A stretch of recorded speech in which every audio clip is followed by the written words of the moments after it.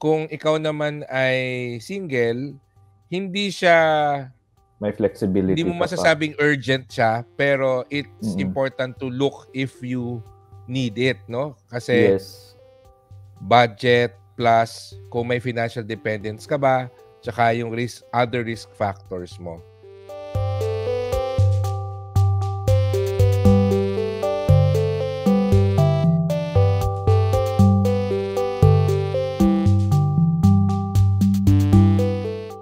Hello mga ka Hello. Hello, Adriel. Nako, uh, ano nangyari sa iyo? Bakit balbasarado ka? November. So no shave November. No Last shave day November. na ngayon. Al, oo so nga. next week well, wala na. Wala na to next nire-record natin to ng November 30, last day talaga kasi gusto ko ma-capture um, sa video yung iyong ano, no shave November. Yung glory of my beard and mustache ah, na naka-ano. Oo nga. Connect ah. na. Ano ba yung pag-uusapan natin today, Adriel? Yan. Oo nga. Saka na natin Bago pag-usapan sa live stream yung buhay mo, Adriel. Bago tayo mag-chika dito. So yung topic Oo. natin ngayon ay ano, how to choose your life insurance no kapag first time buyer ka. Or how do you know if it's time mm-hmm. to buy oh, your yes. first insurance policy, no? Mm-hmm. 'Yon. So, ano, ano ba yung unahin natin? Uh, how do you know? So, so siguro yun yung tatanong ko sa'yo. Paano mo ba malalaman so na kailangan mo nang bumili ng life insurance? Mm. So that's a common topic no or question a lot of people are asking. So let's break it down into maybe two or three parts. So first would mm-hmm. be like those single people out there regardless of gender. Second ay yung mga married couples na. And then third ay yung mga may sakit or may comorbidities ba yun? Or basta may pre-existing mm-hmm. condition na. So let's break mm-hmm. it down into three para hindi tayo malito, no? Then medyo complicated ang topic. So kung mm-hmm. single ka, um, kailangan mong unahin yung if may dependents ka. So that means kapag nagbibigay ka sa parents mo on top of uh-huh. your budget, so that's yung first two things na kailangan yung i-remember all single people out there. So alamin ko ano yung budget at alamin kung may dependents kayo. So kung mm-hmm. may budget kayo, next is may dependents ba kayo? So kung wala, so there might not be a need to buy insurance.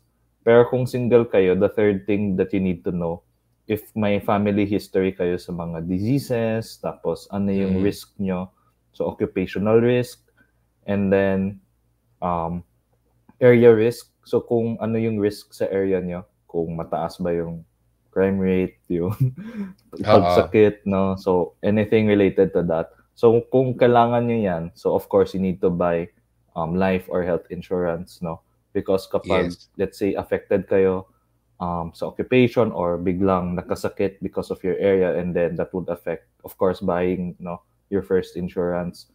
Um, importante kasi to buy the first insurance because usually yun yung cheapest and normally we buy it young, not old, no? But if, let's say, mm-hmm. medyo matanda na kayo, 30 or 40, then kung single pa kayo around that time, then you mm-hmm. have to think no kung kailangan nyo pa ba.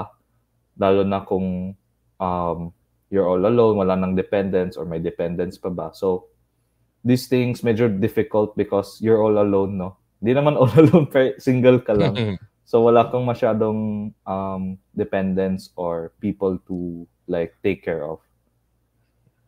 Mm-mm. So, yeah. yes, clear naman. Oo. So, ang sinasabi mo, Adriel, ay kung single ka, of course, uh, primary is yung budget.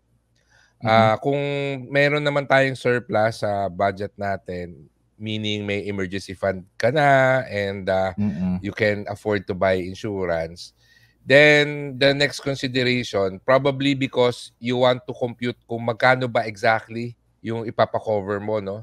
Is kung mm-hmm. meron kang sinusuportahan, meron kang financial dependence, tsaka ano mm-hmm. yung risk dun sa lifestyle mo and area mo kasi baka mamaya dapat yung more of health insurance yung kunin mo rather mm-hmm. than mm-hmm. life insurance eh no so yeah. that's for single people pero mm-hmm. and then next, another thing to add pala uh, regarding lifestyle is kung may mga loans kayo no so uh, counted okay. din yun yeah Mm-hmm. So but yung loans general yan for like single, married and of course those with comorbidities or may pre-existing.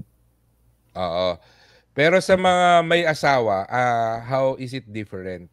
Okay. For those with wives or with children or whatever. So you have with to spouse. think about or with uh, spouse or kung anong term ba yan. So kapag kasal na kayo, of course, kailangan isipin niya yung anak niyo, no? So in case mawala ako, paano yung anak at yung asawa? No? Or the other way around. Mm-hmm. Um, next is yung education fund, of course, kailangan yan i-cover or at least a certain amount of that mako-cover, no? And then on top of the um, income mo, so income replacement, and then kung may health risk, of course, counted yan. And then, of course, future planning to, no? And Mm-mm. another thing is, of course, kasama yung loans. So those five things come together already. Because kailangan isipin ng mag-asawa na kapag mawala isa sa amin, ano mangyayari. So, Mm-mm. that has to be taken into consideration when buying your first life insurance or health insurance. No? Um, kapag mayroon na kayong existing policies, then of course, you can top up or you can buy a another policy. But ideally, yan under discussion na yan eh to our financial consulting services. Yes. yes. Uh, mm-hmm. All right. So, paano naman yung last category na okay. with comorbidities? Sige. So, those na may pre-existing condition na medyo tricky, kaya last siya. So, depende mm-hmm. kasi sa ano eh, pre-existing condition. So, let's say may cancer na or hypertension or ano pa ba, may history of stroke. Yun mga yun may cooling off period na tinatawag. So mga 2-3 years, 4 uh, years bago pwedeng bumili. Pero it depends per insurance company eh. So you really have to check sa insurance company kung ano yung guidelines nila sa mga pre-existing conditions dahil umiiba per company as per research. Mm-hmm. So um, you really have to ask the agent. So yun yung kailangan mo nang isipin before everything else na can I be still insured with mm-hmm, this like mm-hmm. pre-existing condition or if ever ma-insured ako, ano yung ma-add na rate because additional kaltas yun sa budget mo eh. So for example, yung mm-hmm. budget mo is like 20,000 a year. Pero yung insurance company will say 24,000 a year na kailangan mo. Then of course, out mm-hmm. budget na siya. So again, mga ganito uh, has to be considered, no? Medyo tricky mm-hmm. for those with pre-existing conditions but if the case is like asthma lang or medyo low risk na pre-existing din, mga one or two years pwede na ma-insure. But then again, subject to insurance company guidelines already. So, kunwari, um, hindi ka pa diagnosed ng mm-hmm. diabetes, well, relatively healthy ka pa. So, uh, siyempre mura pa yung premium mo. Tapos later on, sabihin natin after 4 years, bigla kang na-diagnose ng diabetes, na diabetic ka, uh, mag-iiba ba yung premium mo or it will stay dun sa rate kung kailan mo ah, kinuha uh, na kung healthy term insurance to, it will be ah, syempre magbabago. Kung, Oo. Hindi, depende sa company. For ah, certain okay. companies, kung, kung kailan mo binili yung insurance, yun yung baseline. Mm. So that means every new renewal, hindi nila chine-check. Oo. Because they assume na healthy ka. Pero if let's say bibili ka ng bago, let's say, four years later, may diabetes ka na, tapos uh, um, gusto mong bumili, yun iti-take na into consideration yung diabetic mo. Ah, I see. Kapag bibili ng bago. Uh-oh. Pero kung luma na, hindi yan, hindi yan ika-count. Bali, kung kailan mo binili, yun yung mm-hmm. baseline. I see. Okay. So, ang nakikita ko sa na-share mo, Adriel, when it comes to how do you know if you need to buy life insurance is unang-una kung meron ka na ng asawa as soon as possible kasi yes. uh, may financial dependence ka, di ba? So parang mm. gagawan mo siya ng paraan na maisama siya sa budget, no? Mm-mm. Ngayon, kung ikaw naman ay single, hindi siya may flexibility. Hindi mo masasabing pa. urgent siya, pero it's Mm-mm. important to look if you need it, no? Kasi yes. budget plus kung may financial dependence ka ba, tsaka yung risk, other risk factors mo. Ngayon, mm-hmm. kung meron kang family history na sabi natin high blood or uh, hypertension, yung medical history or hypertension yes. or diabetes, it might be an advantage to get it as soon as you can afford it habang bata ka yes. pa, habang wala pa yung manifestations ng mga sakit kasi mm-hmm. mas mura mo makukuha yung life insurance mo. Tapos yep. it also gives you uh, financial protection in the case na medyo health insurance type yung kukunin mo, no? Hindi lang yung pure mm-hmm. life insurance, pero yung policy na may mga health uh, coverage, no? Para ma-prepare ka rin in the future. So, yes. yun yung nakuha ko. May tama ba yung pagkakaintindi ko, Yes, Adriel? that is all correct. Tapos just to end no, one last thing for mm-hmm. all of our viewers.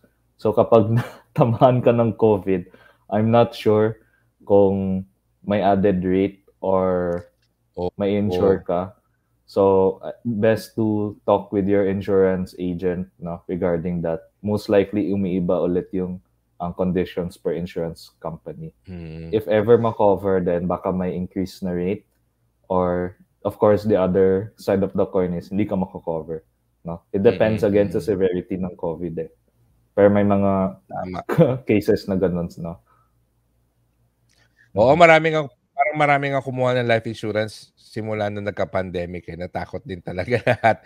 Yeah. And uh, they realize na they are not financially prepared pag uh, nagkaroon ng uh, pag may nangyari knock on wood dun sa breadwinner ng family.